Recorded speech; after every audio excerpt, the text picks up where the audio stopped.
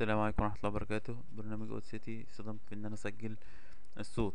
في برامج تانية كانت بتسجل زي برنامج الونامب فالبرنامج ده ميزته إن هو مجاني من غير فلوس مش محتاج كراك ومفيش أي مشاكل إن أستخدمه. بفتح البرنامج وأقول له سجل وأبدأ أتكلم عادي. بسم الله الرحمن الرحيم. وبنستعين والصلاة والسلام على أشرف المرسلين. خلص تسجيل بقول له توقيف. أقول له ملف. واقول له ممكن أقول له تصدير. في امتدادات كتيرة. آه، أنا بفضل الام بي 3 لأنه بيستخدم على الموبايلات وكمان بيبقى مضغوط. أقول له سيف.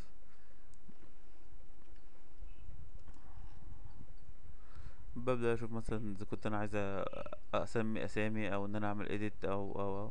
أقول له موافق بيبدأ يسجل خلاص أخوكم عمرو سليم.